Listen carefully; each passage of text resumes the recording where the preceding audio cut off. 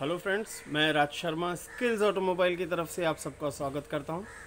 आज हम इस गाड़ी पर काम कर रहे हैं जो कि है फॉक्स वेंटो आज हम देखेंगे कि फॉक्स वेंटो में ऑटोमेटिक ट्रांसमिशन कैसे करते हैं एंड इस कार में मल्टीपल काम है, जैसे कि इसके ब्रेक पैड्स चेंज करना एंड इसका जो स्टेयरिंग रैक है, उसमें काफ़ी नॉइस है तो स्टेयरिंग रैक चेंज करेंगे हम इसमें। एंड वीडियो शुरू करने से पहले अगर आप लोगों ने अभी तक मेरा चैनल सब्सक्राइब ना किया हो तो please subscribe my channel and video end तक ज़रूर देखें ताकि आप चीज़ें मिस ना करें।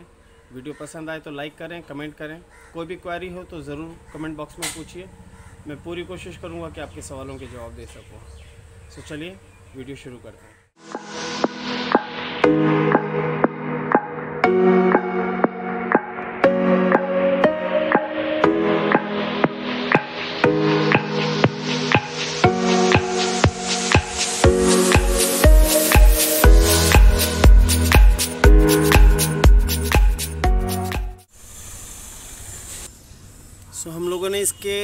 जो डिस्क हैं, ब्रेक डिस्क, वो हम लोगों ने निकाल लिए एंड ये इसके ब्रेक पैड्स हैं जो हम चेंज करने वाले हैं।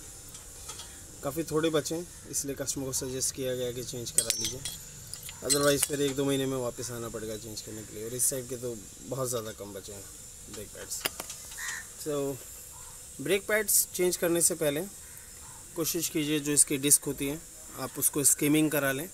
बिकॉज़ इसकी जो डिस्क थी वो हमने टर्नर को दी है स्कीमिंग करने के लिए। अदरवाइज़ प्रॉब्लम क्या आता है ना कि डिस्क में बहुत ज़्यादा लाइनिंग्स आ जाती हैं रफ़ हो जाती है इन शॉर्ट सो उस रफनेस को हटाने के लिए एक बार डिस्क जो है इसको स्कीमिंग कर लेना चाहिए। सो so, ये हम खोल चुके हैं प्लस हमने यहाँ से इसका स्टेयरिंग रैक भी उतार दिया है। स्टेयरिंग टू रैक जो है उसको उतारने के लिए आपको पूरा धड़ी खोलना पड़ता है। ये इसका नीचे का सब फ्रेम जिसे हम कहते हैं। ये पूरा खोल दिया हम लोगों ने।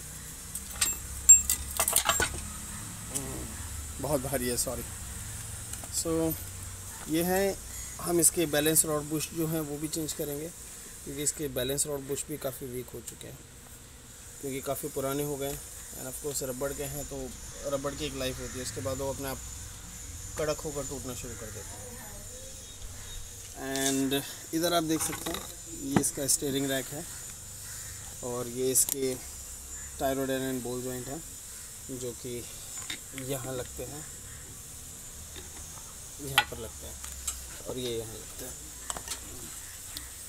सो हम लोगों ने इसका जो स्टेयरिंग रैक है, इसको रिपेयर ना करने का प्लान किया बिकॉज़ ये एक्चुअली काफ़ी ख़राब है।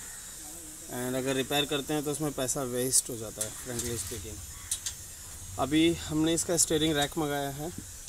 जो कि वीका कंपनी का है, जो कि हमें एट थाउज़ेंड रुपीज़ में पड़ेगा। एंड बाकी जो वहाँ से लेके आने का जो कॉस्ट होता है, जो डिलीवर करते हैं, तीन चार सौ रुपये उनका होता है। सो स्टेयरिंग रैक में स्टेयरिंग रैक के अंदर हमें फ़ायदा ये होता है कि जो यहाँ का ये जो हमें चीज़ दिख रही है टायरोड एंड बोल जॉइंट ये सब साथ में लगे हुए आते हैं उसमें तो हमें वो लगाने की ज़रूरत नहीं है। फ्रेंकली स्पीकिंग अगर हम देखा जाए तो अगर हम इसका स्टेयरिंग रैक रिपेयर भी करते हैं तो ढाई तीन हज़ार रुपये तक जाता है। और उसके बाद अगर हम सपोज़ इसका तीन हज़ार रुपये पकड़ते हैं कि तीन हज़ार रुपये में जो स्टेयरिंग रैक है रिपेयर हुआ फिर मुझे जाना है इसके टायरोडेन एंड बोल जॉइंट लेने। ये अप्रॉक्सीमेटली दोनों साइड के टायरोडेन एंड बोल जॉइंट तीन हज़ार साढ़े तीन हज़ार रुपये के आसपास कुछ आएँगे शायद। सो so, उससे बेटर है कि आठ हज़ार में जब पूरा स्टेयरिंग रैक आ रहा है तो बेटर है कि उसे ही चेंज कर देना चाहिए।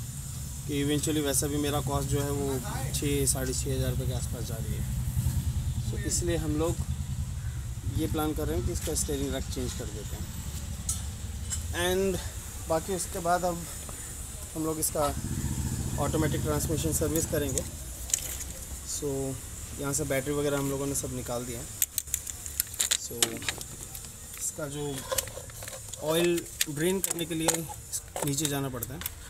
नीचे से ऑयल ड्रेन होगा।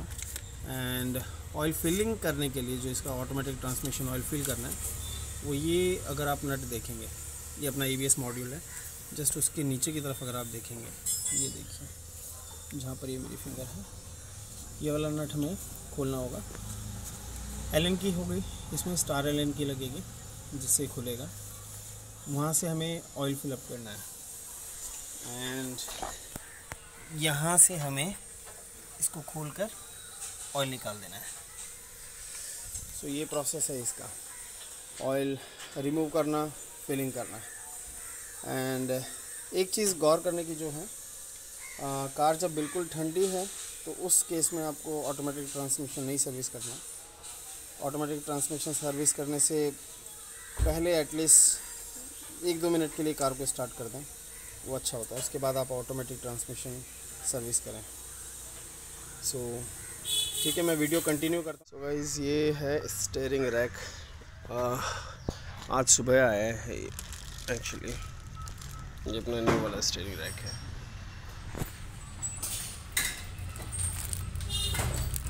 ये अपना पुराने वाला है। तो ये जो स्टेयरिंग रैक है ये उसके ऊपर फिट हो जाएगा अभी। एंड uh, इसके बैलेंस रॉड बुश भी चेंज हो जाएँगे। सो so, स्टेयरिंग का रैक स्टेयरिंग रैक का जो काम है वो ख़त्म हो जाएगा। एंड एक्चुअली सस्पेंशन में जो आवाज़ आ रही थी वो भी बहुत कम हो जाएगी क्योंकि स्टेयरिंग रैक की वजह से बहुत ज़्यादा आवाज़ आ रही थी। तो वो प्रॉब्लम सॉल्व हो जाएगी। एंड बैलेंस रॉड बुश का भी इशू था तो वो भी सॉल्व हो जाएगा। ये जो ब्रेक डिस्क हम लोगों ने स्क्रीनिंग करा दिया इसको। आप देख सकते हैं एकदम प्लेन हो चुकी है। दोनों साइड से। एंड ये इसके ब्रेक पैड्स हैं।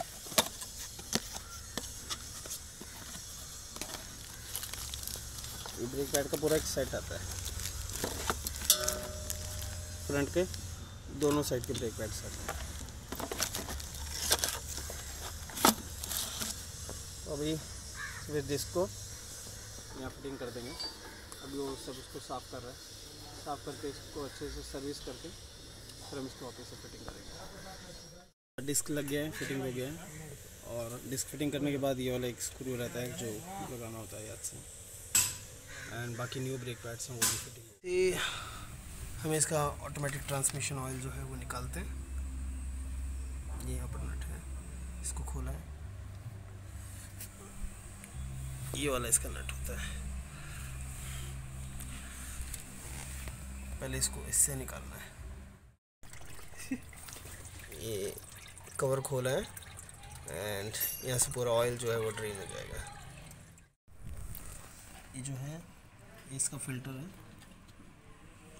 ये निकालना होता है जब हमें पूरा ऑयल ड्रेन करना है उस टाइम पर। ये निकाल के इसका नीचे का चैम्बर है।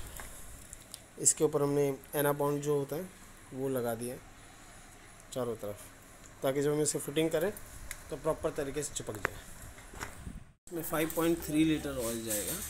तो उसके लिए आ, हमने हम लोग यूज़ करने वाले हैं कैस्ट्रॉल का ट्रांसमैक्स ई ये हमने छः लीटर मंगाए हुए एक दो तीन चार पाँच छः आपको ऐसे एक पाइप बनाकर अगर आप करेंगे तो पाइप जो है जाएगा। उसमें। ये डायरेक्टली ऑयल जा रहा है ट्रांसमिशन इसी तरह के पूरा जितना भी ऑयल है आपको डालते रहना है। स्लो प्रोसेस है so it takes time patience रखिए और तेल डालते रहिए। 5.3 लीटर तक जाएगा। सो so, आप लोगों ने देखा कि किस तरह ऑटोमेटिक ट्रांसमिशन सर्विस करते हैं। एंड हम लोगों ने ब्रेक पैड्स भी चेंज किए। एंड uh, इसका स्टेयरिंग रैक भी चेंज किया। आई होप आपको ये वीडियो पसंद आई होगी। अगर वीडियो पसंद आई हो तो प्लीज़ इसे लाइक कीजिए कमेंट कीजिए। एंड अगर अभी तक आपने मेरा चैनल सब्सक्राइब ना किया हो तो प्लीज़ सब्सक्राइब कीजिए। Thank you